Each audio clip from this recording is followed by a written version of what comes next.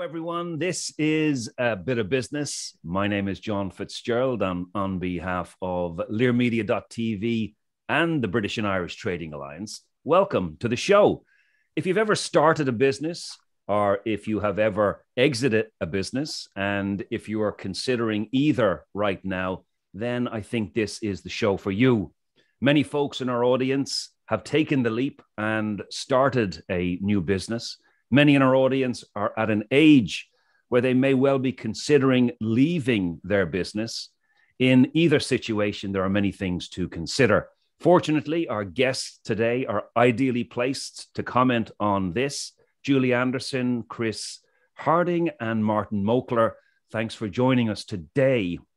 So let me start with a few introductions. Julie, who is a BITA Kent board member, established Rap Interiors with her husband back in 1988.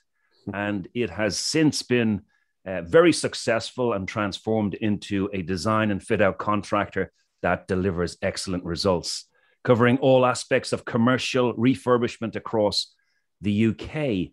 So in April, Julie will step away from her business after many years at the helm. As a result, Julie is very well placed to give us valuable insights and reflections on her business journey and what it takes to depart successfully. Martin is one of the lead advisory partners at Evans Mockler in London. They're a progressive firm of accountants, auditors, business, and tax advisors who specialize in the construction industry together with property developers and investors and owner managed businesses throughout the UK and Ireland. Martin is also a board member of BITA in London. Chris is a business transformation specialist who understands the challenges at different stages of the personal and business growth journey. He has worked on everything from local startups to complex global organizations. He knows exactly where to start, what questions to ask, and when to challenge. Importantly, he knows how to architect an enterprise and in which order to build it.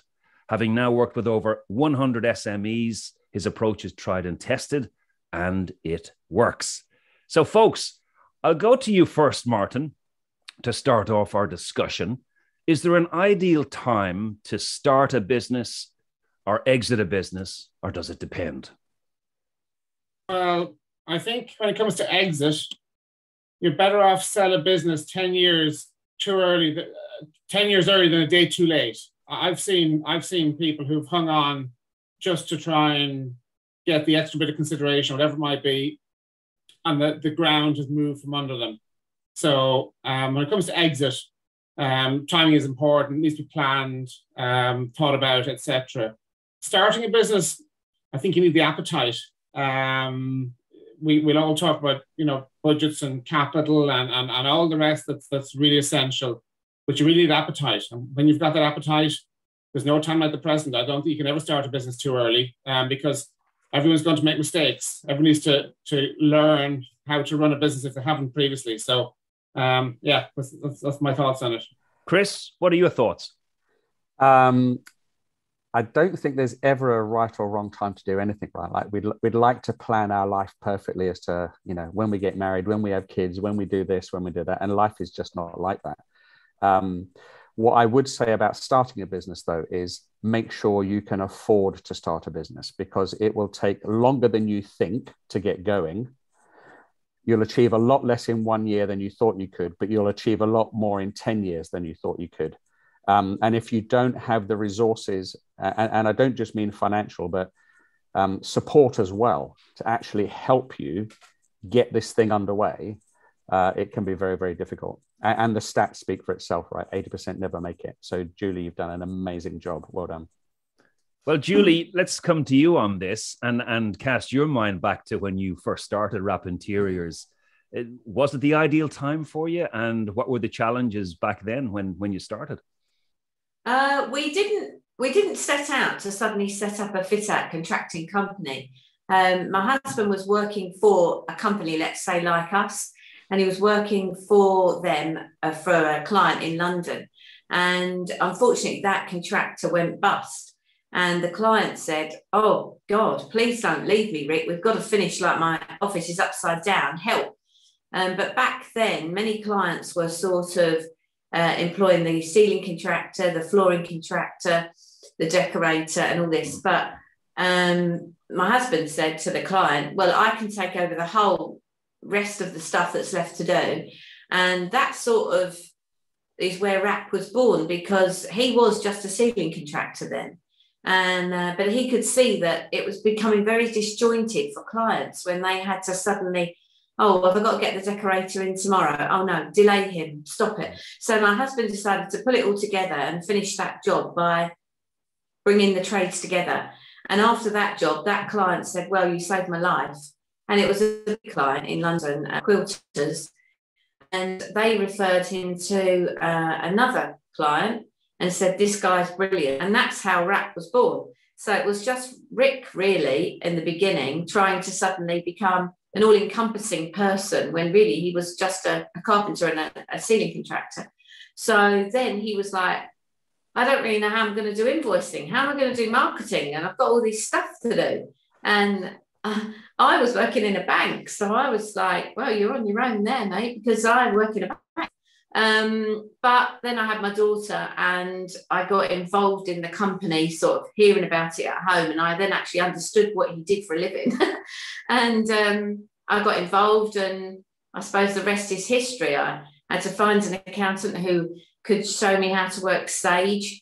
Um, and through that, I self taught myself a lot of other stuff on Sage, but we did some training with an accountant.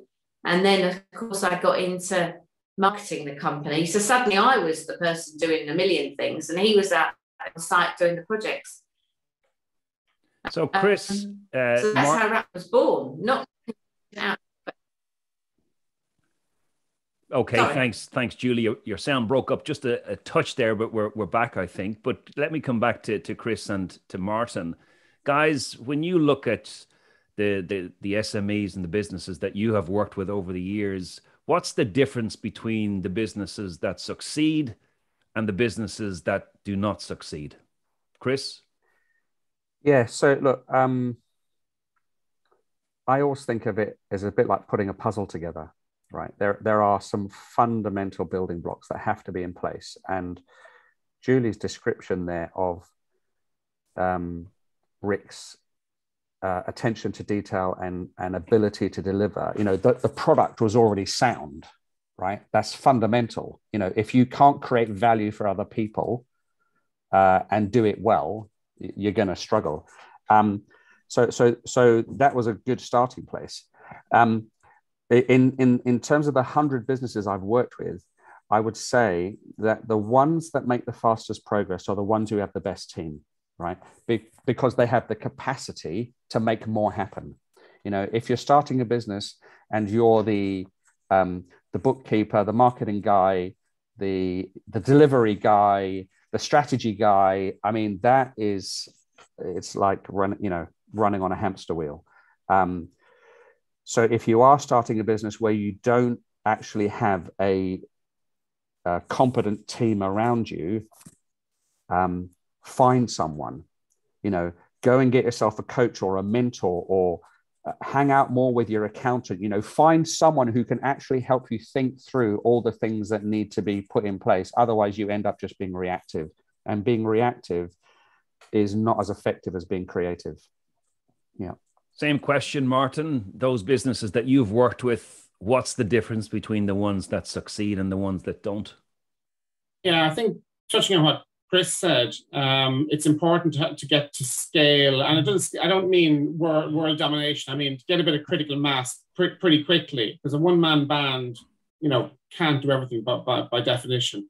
I think what's interesting, and this might be a bit left field, but something I would often say to clients: consider buying a business that might be small and it, but in the in the space you want to operate in because you already have customers you already have a supply chain you already have a team clearly it, you know it it need reshaping to your vision but you do hit the ground running it can be quite daunting to start a business with you know zero or, or pretty limited clients on day one so you know if you look at your budget and your your costings and you've got an amount of capital that you think you're going to incur by starting a business from from the ground up Well, consider buying a small business and growing that business. You're, so you're not starting from a stand from a standing position.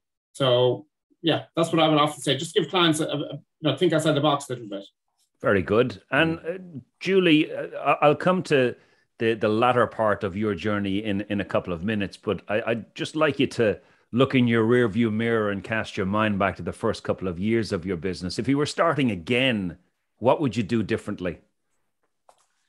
Uh, um, I think we would focus on the marketing um, earlier. Um, so we needed to get our name out there. I mean, in the initial stages, we were relying on that client to rely to refer us to that client. And back then, it was all about the yellow pages. So you advertised in yellow pages, and you hoped somebody looked up and found you. Um, but uh, marketing now is is very current and it's very uh, life, isn't it? We do everything on social. So um, I think so. Marketing is the biggest thing, and networking.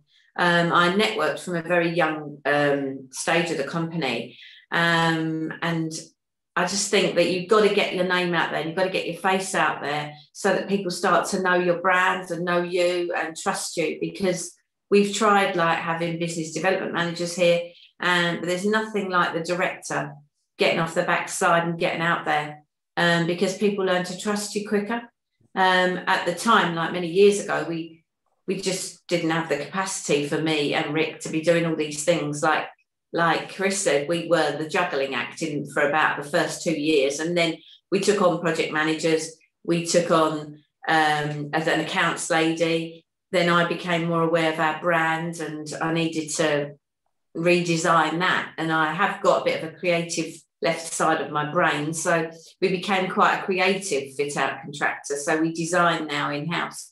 But back then, I think I think as soon as you hit the ground deciding on a business you want to run, you've got to get out there and listen to other people. Like Martin said, listen to people who've set up their own websites or gone to a website company because now you need a website, you need to be out there, you've got to have everything at once. You haven't really got time to build your brand as such. You've got to just be everywhere. And so networking does that, has done that for us. I think we're sort of quite well known. We're not as well known as we want to be, want to be known everywhere. But, um, that's for the next generation to take forward and get out there and drink all the beer. Very good. So, Martin uh, and Chris, where does investment fit into to, to this picture at the start or at the end of a journey as someone is considering in in uh, exiting a business. So so when you look at the the startups that you've worked with, are in general are people slow to take investment, reluctant to take investment? Do they take it too early, too late? What's been your experience, Chris? Um, I think investment is a a minefield, really, uh, in that obviously you need cash to be able to grow the business, right? To to invest in marketing, to invest in building your capability with your team, to you know, to to to implement technologies and those kinds of things. Um, you know, there's a lot of noise around there. You know, people who think they're going to be the next unicorn, and uh, they're they're obsessed by you know seed funding, round A funding, all the rest of it. Um, but you have to be i think you have to be careful about all of those things. It depends on what your ambition is at the end of the day. You know if you're building a small business um, and you can borrow money from friends and family or you've got savings and you can then stay owning the whole thing that's probably a better thing. If you're going for world domination um, well you've got to start by being realistic about whether your product has a global marketplace you know. So there's no there's no simple answer to that question i don't think.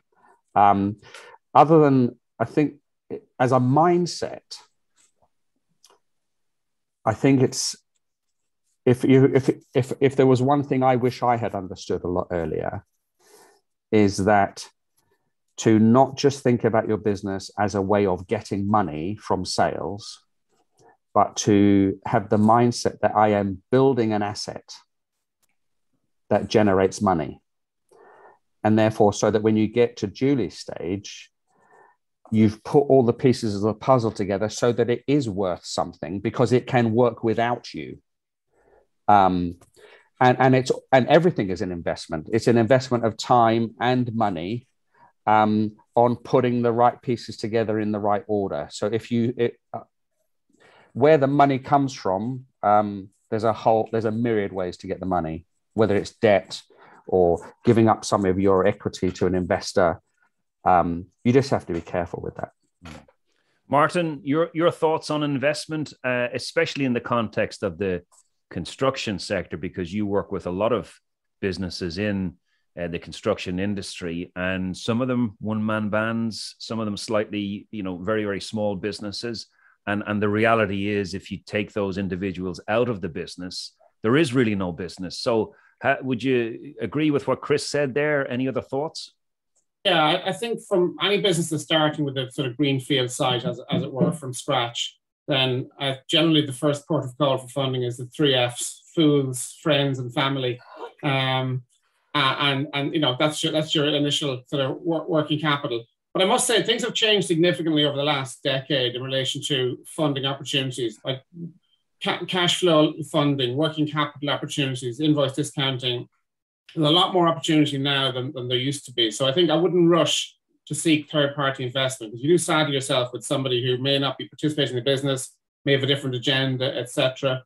Um, I, I, think you, you know it, as, as Chris said, you do need a bit of vision. Um, people start business, you know, to, to, to make money for sure, but but you do need to be investing as you go because it is important to ensure this business has a life of its own beyond you.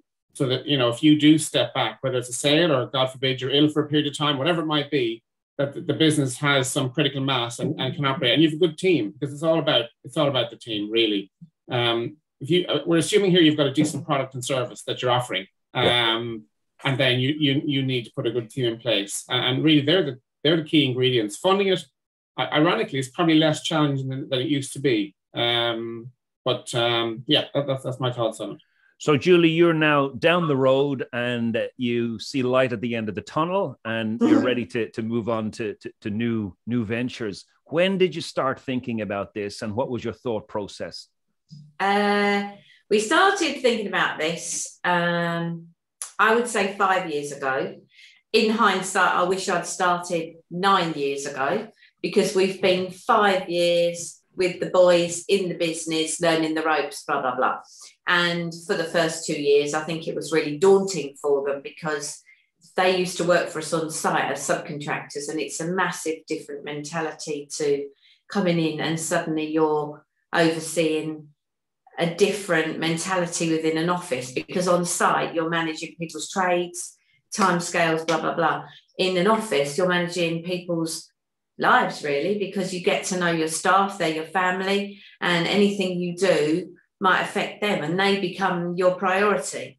Um, well, they have become our priority. We we see ourselves as a, as a one big family here. We're not a massive company, but we've got 16 people, and anything we make a decision to do, we have to think about that affects 16 families.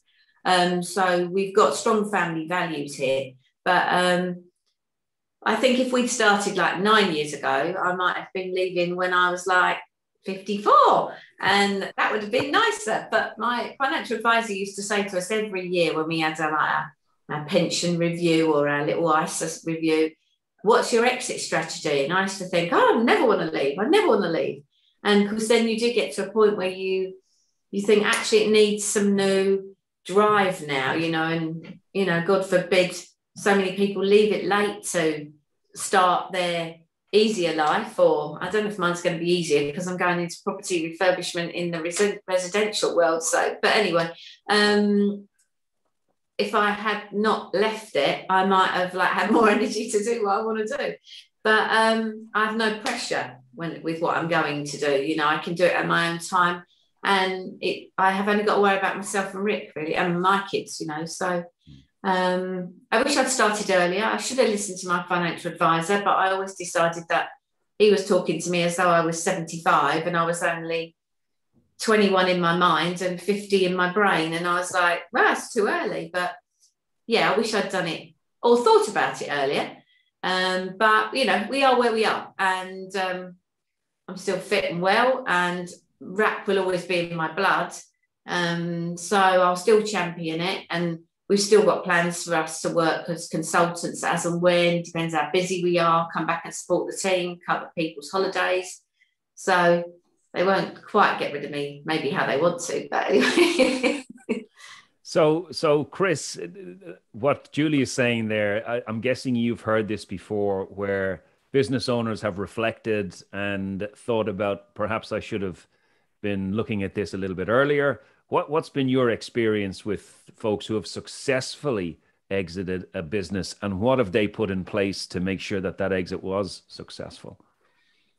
Yeah, so I think there's a there are slightly different challenges depending on whether you're talking about a management buyout, which is really what Julie's talking about, or whether you're talking about a straight sale to someone completely different. Um,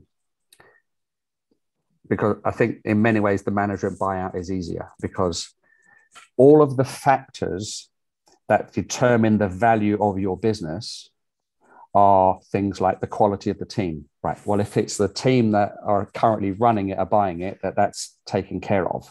Um, other factors include um, has it got robust systems and processes that are consistent so that somebody else can actually come in and, and, and operate it um, does it have an extendable market opportunity is there scope for this to go somewhere you know there's there's a number of different factors that will be a determinant in the price you could get for it.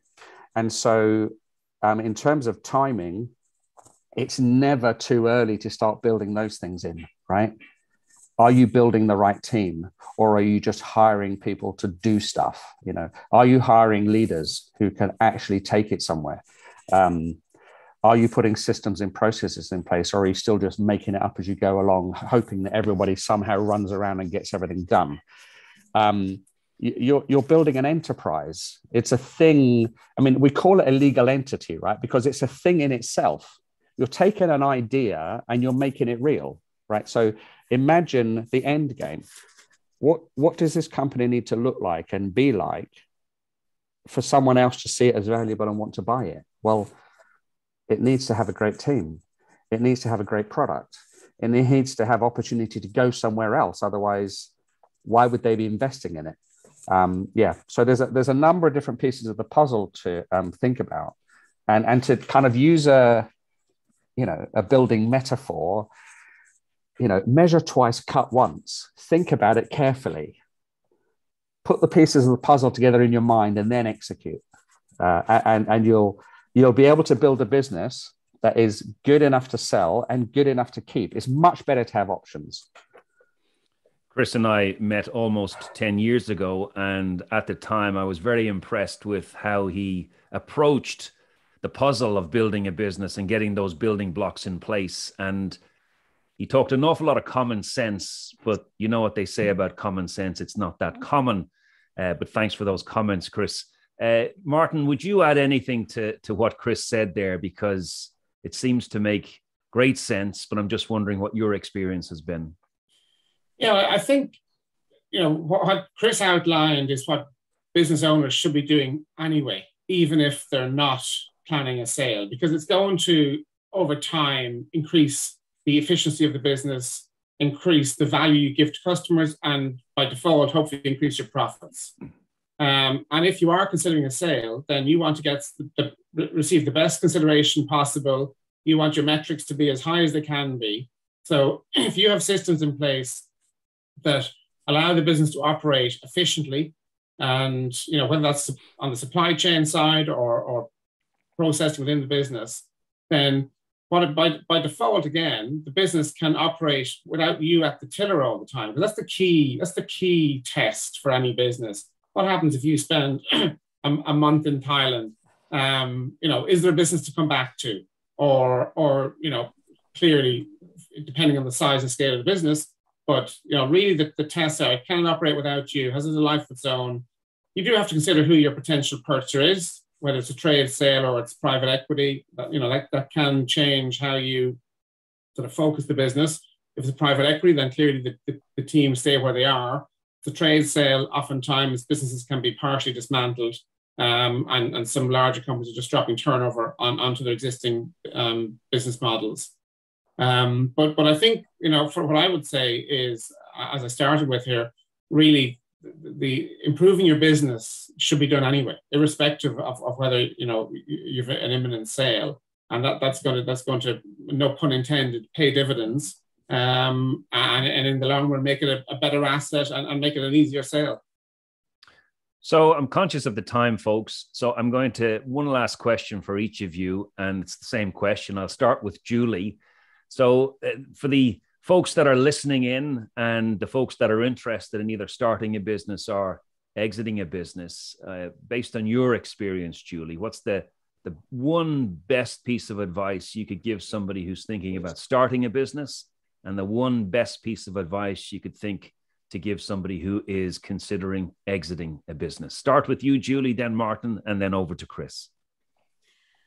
Oh, I've got so many bits of advice. Maybe I should write a blog. Um, I think you've got to go into it passionate, passionate. Really, you know, it's not about earning money. There have been times when Rick and I haven't been able to take our dividends, you know, over the last 30 years because we're going through tough times. So you have to put your team first because they're the team who are rowing the boat. And uh, when you get the right people in place, that's when you know that you can go on holiday um, for a week and it still stays there and you're not obsessed so much about your emails.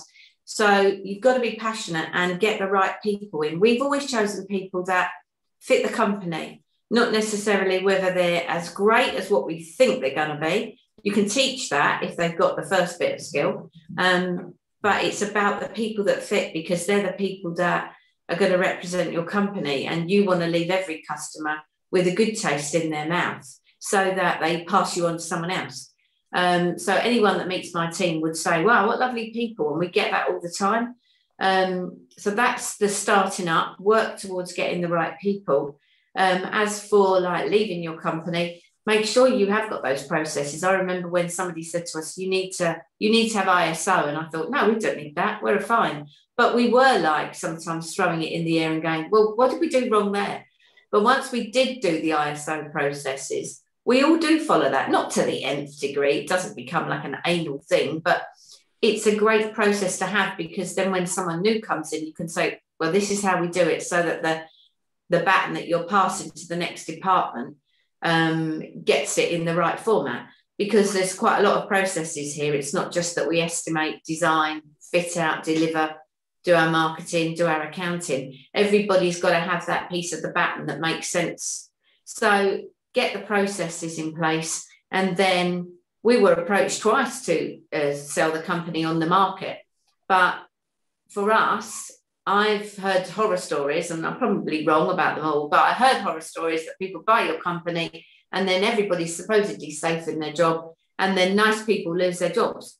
And because maybe people that want to buy your company, all they want to do is take big money. And it's not about the money, it's about having a good reputation and loving your business. And um, we've declined those two offers, and it was only over a Sambuca shot on a New Year's Eve that the brothers said, What are you two going to do when you hang up your clogs? And we were like, How rude. Um, but anyway, that's where the conversation started. And we knew that they would come in and enjoy the people that they work with and enjoy what we do for clients because we are obsessed about every job that we do and we love we love the finished product so you have to love everything i think well, if you look on the Rap Interiors website, folks, you'll see some wonderful examples of the work that Julie and her team have done. But thank you for those reflections, Julie. Very insightful indeed. Martin, your best bit of advice for starting a business, your best bit of advice for exiting a business? Mine is pretty simple, John, and you're probably going to say you would say that anyway, but I would recommend strongly people speak to their accountant and their solicitor at the beginning before they start a business. Um, and then in advance of a sale, well in advance of a sale, again, speak to your accountant, your solicitor, and perhaps a corporate finance advisor, uh, and speak to someone like Chris in the middle um, to mentor the business and, and, and, shape it on its journey because you can't get too much advice. There's no such thing as too much advice. And people just, you know, we're, we're not born with the skill set. We learn it on the job. So if you if you have someone around you who can advise you and give you a steer and, and punch in the right direction, it just accelerates that journey. So I, w- I would say strongly take advice um, both before you start, in the middle, and then at the end. Absolutely, but but don't leave it too late. Julie touched on her sort of five year versus nine year scenario. And I go back to the thing I said at the start. Better off sell a business 10 years too early than a day too late. Um, but planning, you really, you need to plan for, for, for all events. Very good. Thanks, Martin. Chris, you can have the last word on this, please.